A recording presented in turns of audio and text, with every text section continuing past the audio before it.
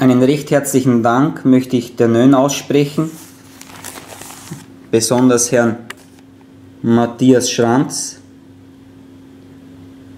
für den tollen Artikel über den Cheminator in der Nön der heutigen, der Montagsausgabe. Danke nochmals.